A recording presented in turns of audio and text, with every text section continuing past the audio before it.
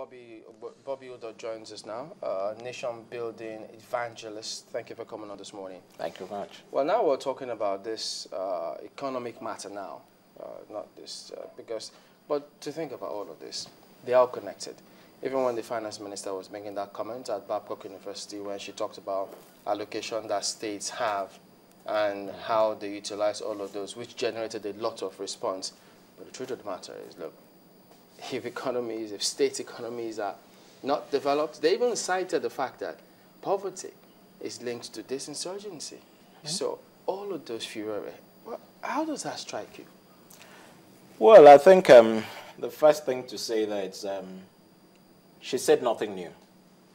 Um, in her first um, tenure as um, finance minister during the Obasanjo administration, she was noted to regularly publish the revenues of states and local governments. Um, in this dispensation, she's not done much of that, but we now and then hear how much states are earning.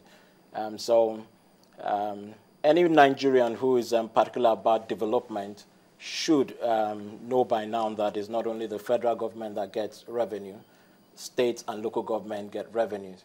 The question remains, um, why is there a focus among citizens on what the federal government earns and what it does with that revenue and not what the state and local governments earn. I think that's the critical question, and that's what I think um, the Honorable Minister is seeking to achieve with her, her speech. So in terms of the response that greeted that speech from hers, did you think that it was also out of place? Well, uh, not really. Um, the two um, um, school of thought playing out here, or two groups playing out here, um, the first group are those who are really looking at the government, the federal government in this case, and um, suggesting that they need to do more. And um, she's going out to try and tell those groups to refocus as well at the other tiers of government. Um, the second group are people who are, are trying to um, look at this as a, a way of government to deflect attention that is put on them um, so it's not about how much the state governments earn, but it's just a political statement to deflect attention at them. But the summary at the end of the day is that what she said has put a critical question upon us, the citizens.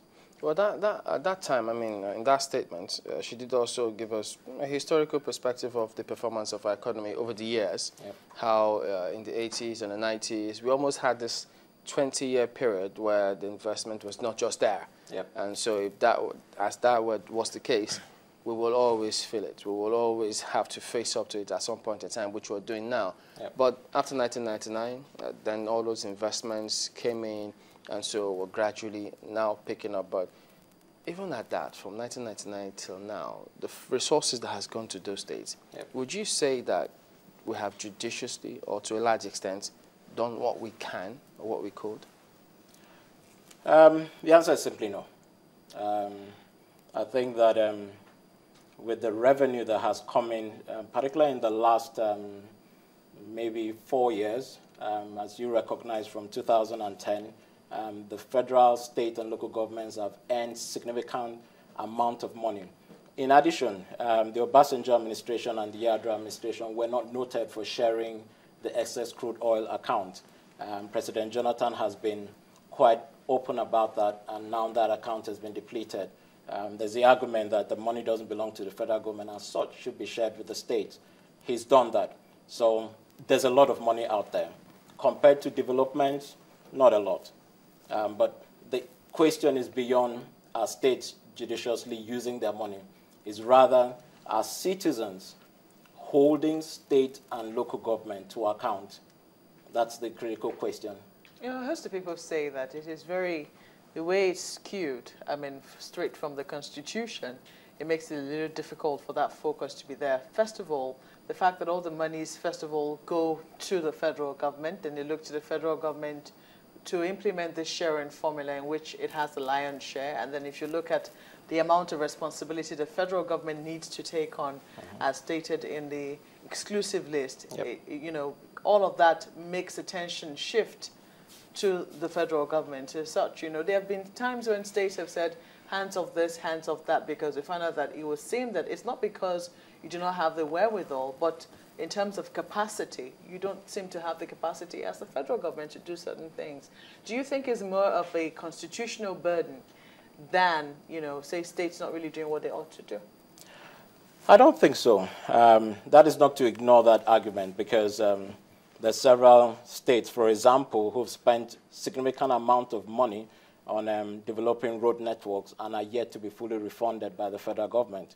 Um, so that's just one area. There are many areas state could claim to have used their resources to do the work of the federal government and yet have not been refunded, and such resources could help for other development. But I think the other aspect is that the states do have money, and they can do a lot with the money. Um, what they're doing with the money is a question. And um, the searchlight has to go more on the states and the and local government, not ignoring the federal government. So whatever the arguments are, we have to raise a citizens, citizenry, a critical mass of citizens who are saying, okay, federal government, tell us what you're spending, as Ngozi Iweala is trying to do, but the state government also tell us what you're spending. And at the end of every year, let us not only wait for the National Assembly to call committees and say, how did you spend this money and how uh, are you going to spend next year? How is that, considering the sharing formula? Um, the sharing formula is something that we can address another day. Um, but for now, um, states do get money. Um, it's not 0%, um, at least I think it's about 27%, but they are getting money. And what the Honorable... That is all the 36 states. Exactly. Mm -hmm. the truth is they could get more, and some of us do share that view that um, government should be decentralized. Um, but at the moment, and referring to the speech in question, the states are receiving money. Some states got as much as 260 billion, uh, which is my beautiful state, Akwa Ibom. Um, some other states got um, 200. That's still a lot of money. You know, so I think now the contention is not uh, if uh, they get money, but they do get money. going further, yep. Why is it that at the end of it all, we get to see that some states uh, do better than some others? Uh, because it would seem as if some others uh, deliberately, uh, well, starve of funds. But yep. with this uh, from Okonjo-Iweala, every state of the Federation gets some form of revenue. So in trying to fix the security situation in so many of these states, can't we then say some of these have been adequately channeled in that direction? Yeah, there is, um, there is a key argument there. I mean, um, what we see in several northern states, um, especially in the northeast where we have uh, violence, the statistics have been interesting that Borno State has been listed as one of the top 10 states. And here is a state that complains about poverty. So there is money coming in for um, development that can help to alleviate poverty. Um, but sometimes we also have to balance out by understanding that um, security is not exactly under the control of the state. And certain times when certain militancy or, uh, or activities, political activities um, that brings in Togri and all that rises up, um, you do need cooperation between state and federal government um, to deal with that.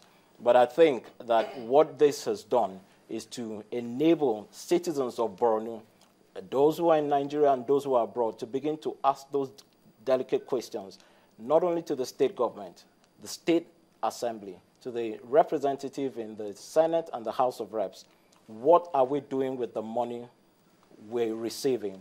And the Borno State governor has said recently that they spent billions of naira taking care of the um, JTF force there. But we need to ask, what are we doing with the remaining uh, money?